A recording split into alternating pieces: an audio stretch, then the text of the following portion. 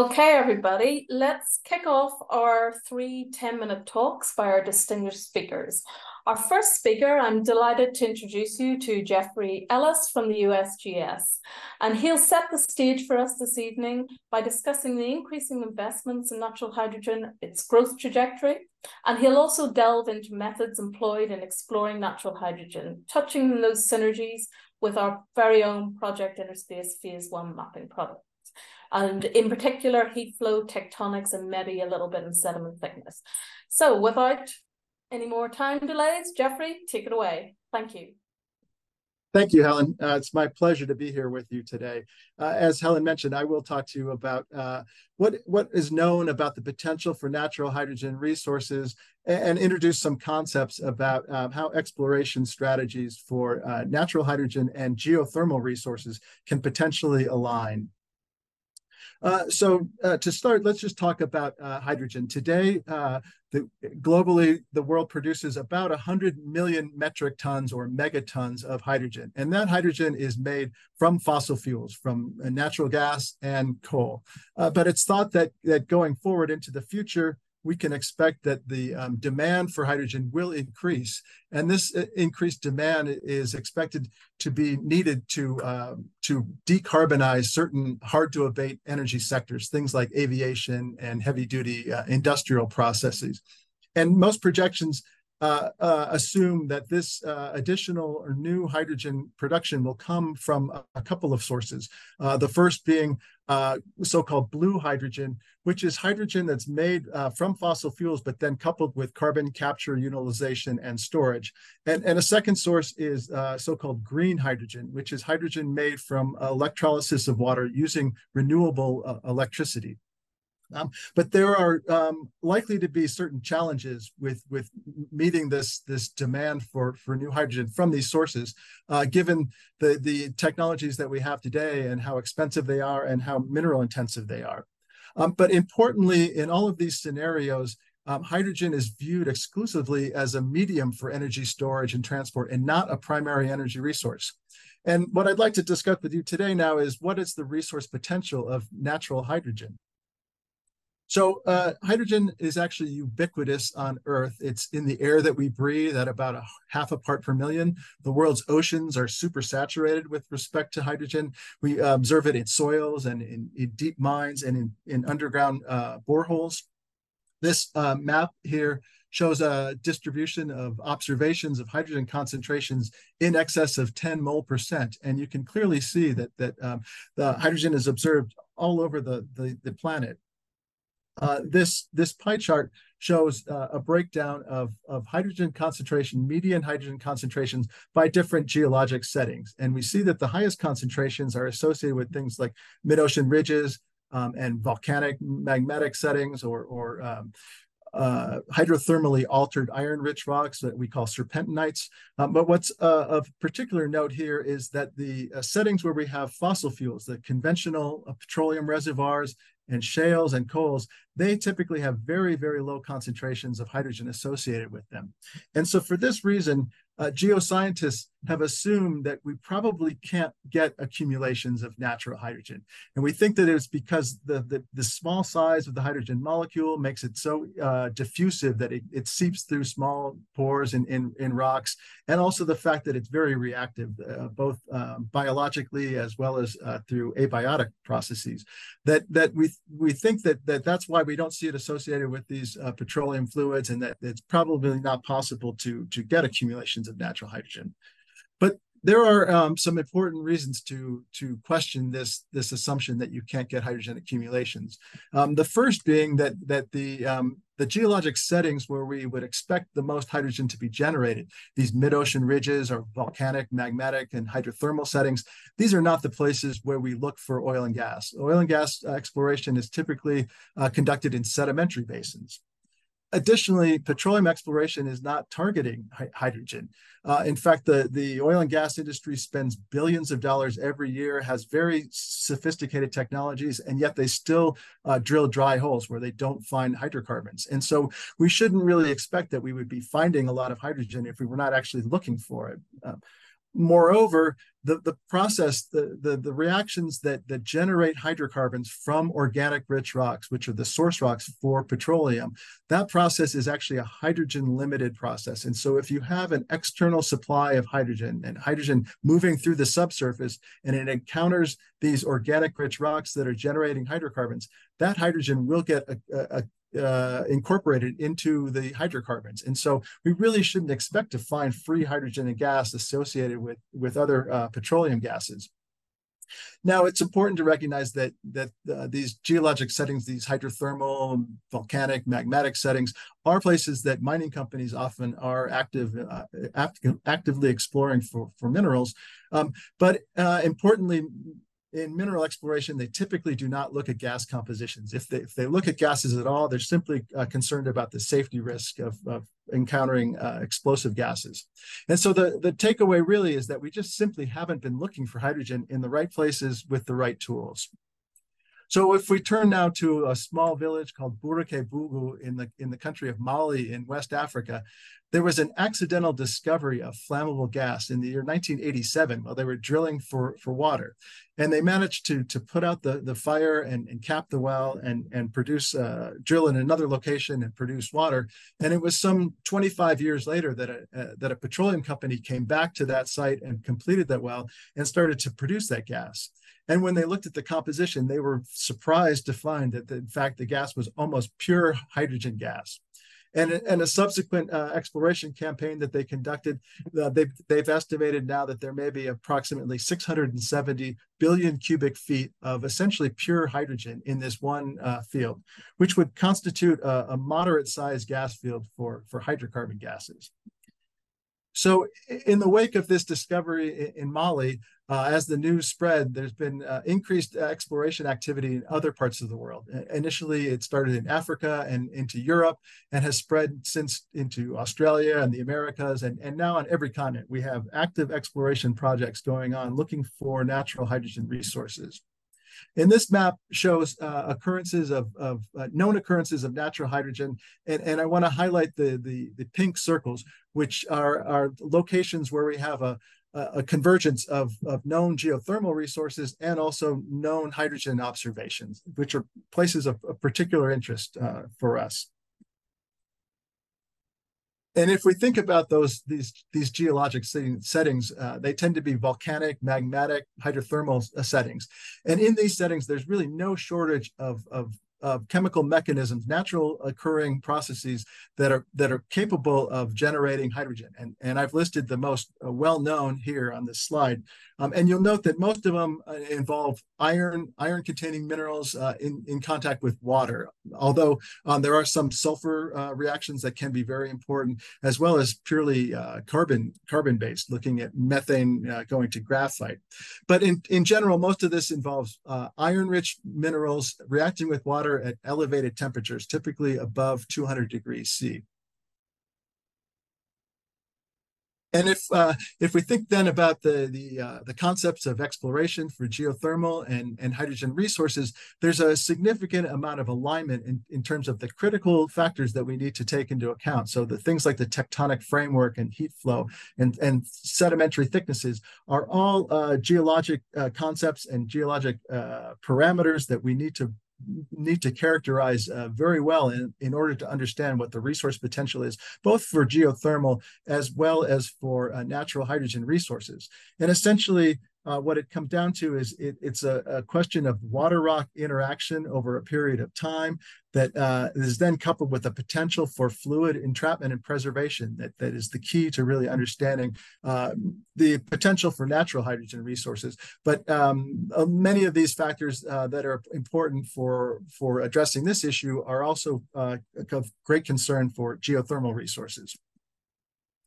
Uh, so then to sum up, uh, just uh, recap that hydrogen will play a critical role going forward to, to meet goals for, for net zero. Um, and we think now that there are likely large quantities of natural hydrogen in the subsurface. We simply just haven't looked for it in the right places with the right tools.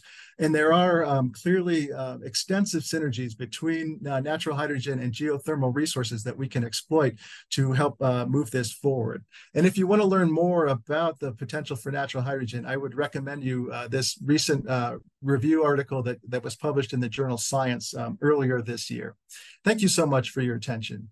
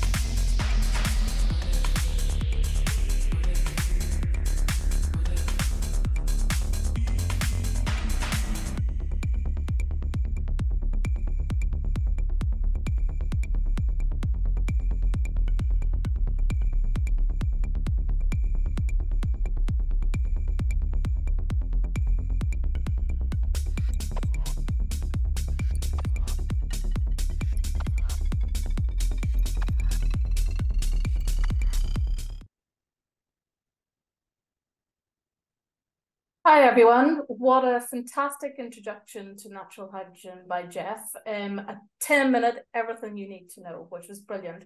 And one thing that rang loud and clear in Jeff's presentation is that, that need to understand the interaction between rocks, gas and water, so that fluid rock interaction. And to dive a little bit further into this subject, we have a geochemist, Eric Gaucher, with us. I'm delighted to welcome him. And he will um, take us another step further into our understanding here. His presentation is going to be divided into two key segments. First, we'll hear the story of Iceland's discovery of natural hydrogen systems, and importantly, the role data played in that revolution. And then secondly, what we want to do is really try and outline how the geothermal community can actually enhance our understanding of natural hydrogen systems. And this will include insights into data collection techniques, particularly around gas analysis. So without hesitating any longer, I welcome Eric Gaucher. Please take it away, Eric. Oh, okay.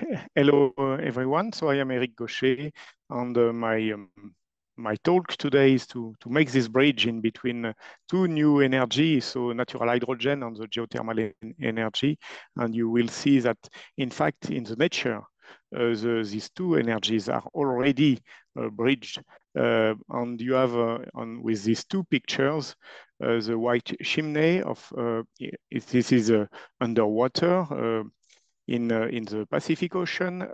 so you have this white chimney is plenty of hydrogen and it's also a geothermal uh, vent, so where the hot water is coming at the bottom of the ocean. And you see also the black smoker in the middle Atlantic ridge, where in fact, the natural hydrogen, this new energy has been first discovered by the, by the people working on, on this subject. And uh, so you, we have the proof of, of the existence of this uh, natural hydrogen. So in the middle of the Atlantic, for example, with all those discoveries of Lucky Strike, Rainbow, Lost City, for example. And by chance, we have also in the middle of the Atlantic, on this mid-Atlantic ridge, one island, and this island is the Iceland. And in Iceland, we, some, some researchers have made some nice uh, discoveries con concerning natural hydrogen. And in this paper uh, made by Valentine uh, Combaudon uh, in the group of Isabelle Moretti, they have observed, and, and you have all the small dots on this figure, where they have compared the hydrogen concentration you have in the gas coming in the, in, in the mid-Atlantic ridge, but also with the small dots that are the, the concentration you can observe in the geothermal fields of Iceland. So in fact, when you are producing the thermal water, the hydrothermal water and the vapor, you are also producing a huge quantity of hydrogen that can be, in fact, uh, produced if you have a gas separator in, in, in your installations.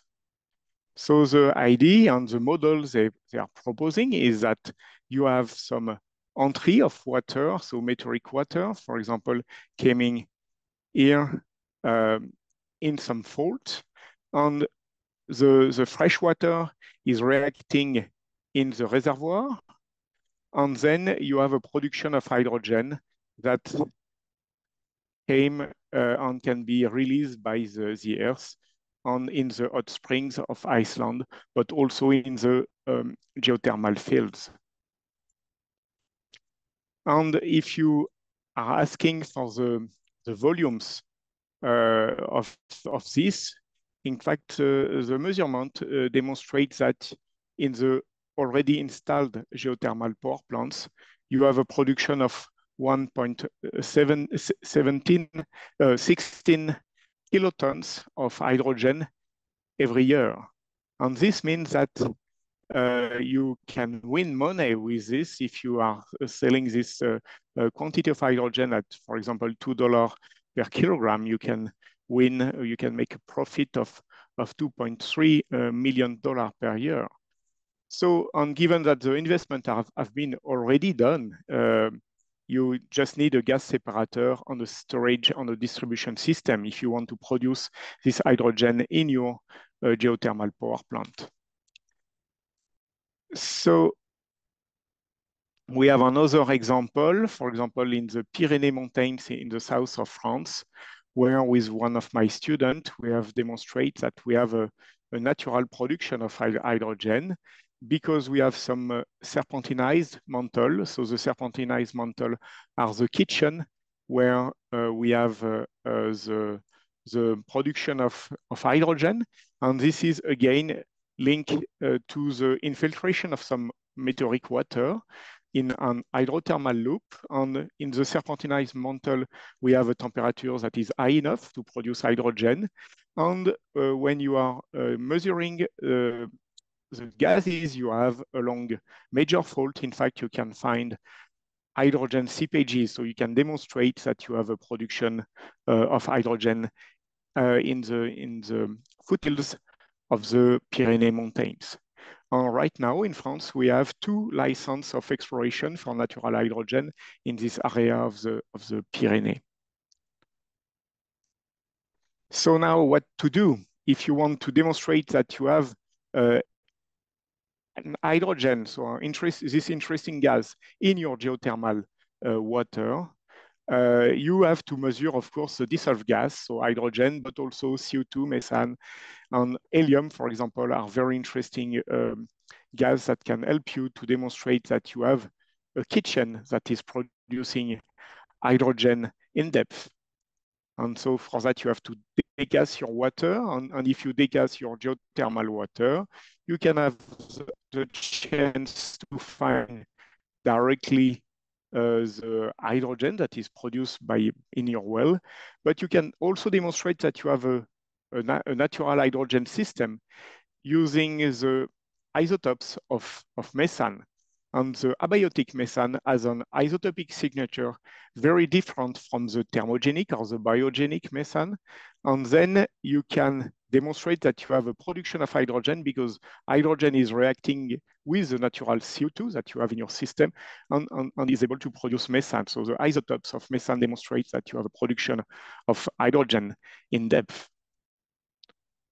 And one, another gases that is very interesting is helium because helium can give you uh, some indication about the production of uh, hydrogen. So if your production is made with, by radiolysis, you will find a lot of helium-4, so the isotope of helium, helium-4. If your production of, of hydrogen is linked to the serpentinization of the mantle, you will have more iron-3. So the isotopes of helium can also help you to understand what type of kitchen for your natural hydrogen you have in, in your system. Some new uh, isotopes, so the clumped isotope, deuterium, deuterium, uh, can also be done uh, on, on your, um, in your analysis uh, list. And uh, in this paper of Xavier, Mangenot, uh, we have published a new method for this clumped isotope, so deuterium, deuterium of hydrogen, of the hydrogen molecule.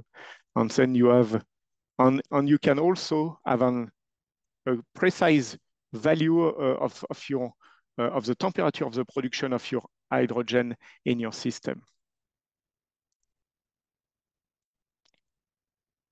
So my take-home message in this very short presentation is that natural hydrogen could increase the value of your geothermal project because in Iceland, for example, it's already economic. So if you have um, the, the right analysis, you, you have a demonstration that you have a, a natural hydrogen production in your system, and then you, you, you can produce this hydrogen if uh, the, your geothermal field is favorable for that. Uh, to obtain uh, those data, uh, we need to make a systematic degassing of the geothermal waters in order to improve our understanding of the hydrogen systems and to con contribute also to new discoveries of the new of this new resource. And here on, on this map, uh, so Helen has produced uh, uh, crossing uh, has crossed the information of the geothermal fields and also the natural hydrogen uh, quantities that are known around the world. And in fact, we have a nice uh, correlation in between the two parameters. So really, I think we, we should have this uh, production of a natural hydrogen in geothermal fields. That's a new subject, but uh, can be a very interesting subject that can add value uh, to your geothermal project. So thank you for your attention.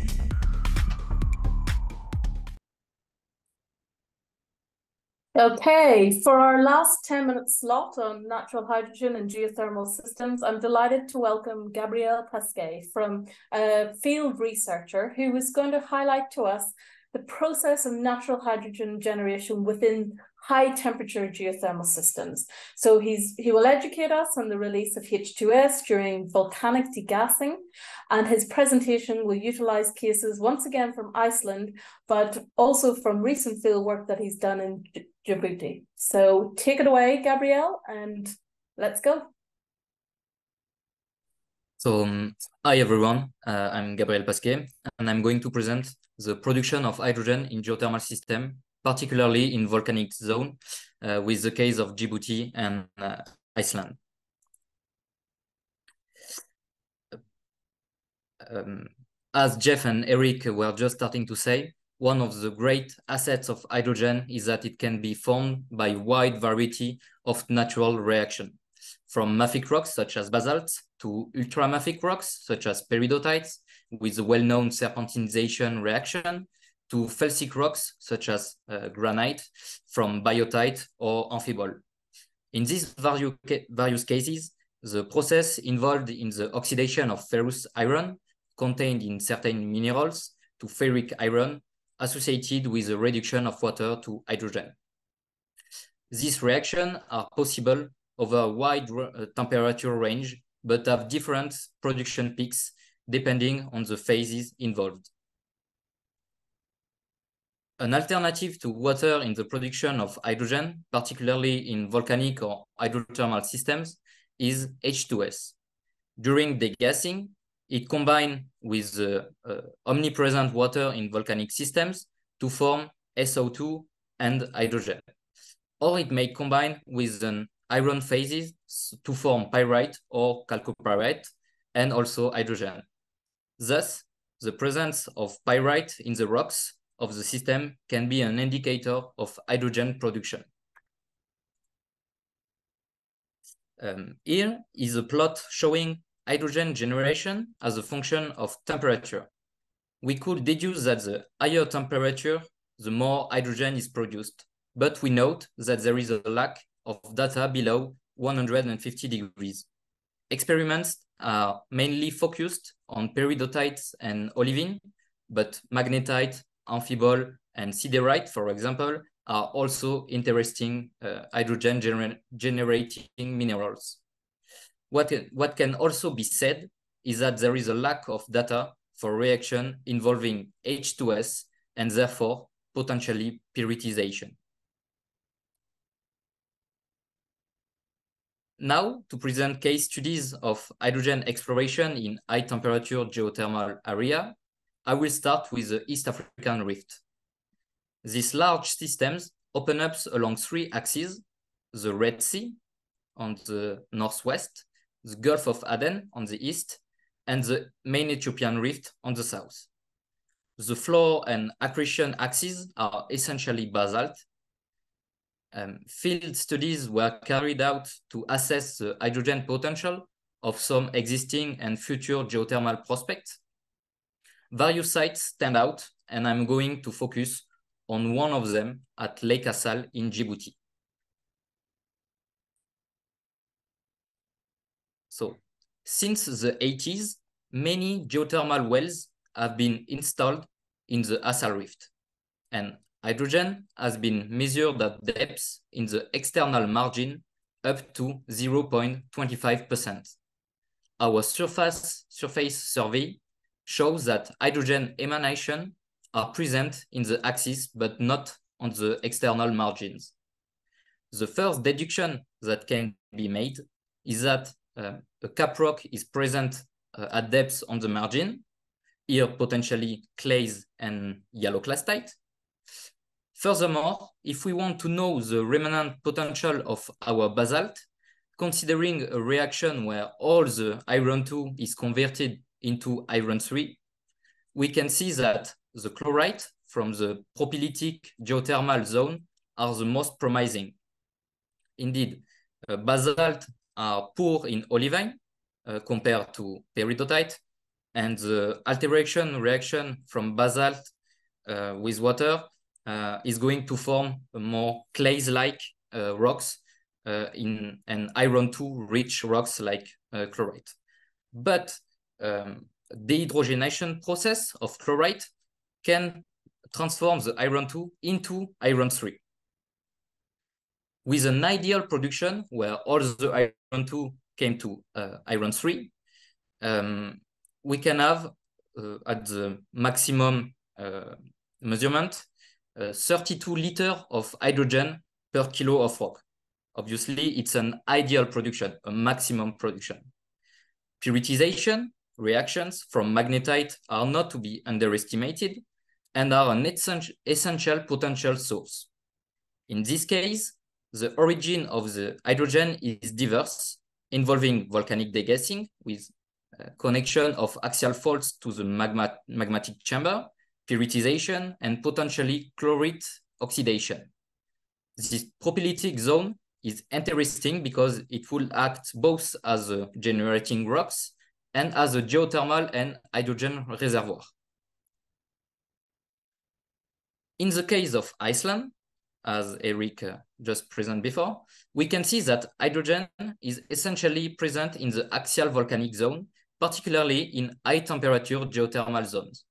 In geothermal fluids, hydrogen has been measured up to uh, 20.5 millimole per kilo and over uh, 57 volume percent in fumaroles in surface. Iceland demonstrates the role of salinity in hydrogen production, a producing a reaction with meteoric or glacial and seawater fluids. Most sites supplied with meteoric water show higher hydrogen concentration. Similar to the East African rift, the origin of this hydrogen is a mix between iron 2 oxidation and water reduction, volcanic degassing, and also pyritization. Finally, the hydrogen is produced by many different reactions, which can be combined and is enhanced by the high temperatures of the geothermal fluids circulating in these rocks. The advantage of volcanic regions, such as Iceland or the East African Rift, is that despite lower hydrogen concentration, the gas flow is significant and continuous. On the large majority of sites, geothermal wells are already in production. So all that is needed now is to recover this hydrogen. Also, what is required now is long-term monitoring of this hydrogen, particularly at depths, in order to identify the reservoir and or uh, cap rock and define an hydrogen system. Geothermal data are essential to understand the hydrogen system with data on temperatures, on fluids, on gas, and obviously on geological formations at depths. Thank you for your attention.